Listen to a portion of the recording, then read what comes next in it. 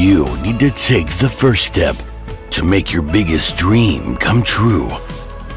You need to take the first step to build something great. You need to take the first step to transform your factory